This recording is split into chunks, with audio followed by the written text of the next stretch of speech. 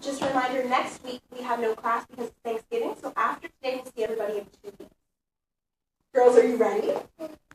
Are you ready? Oh, good. Here we go. Here we go.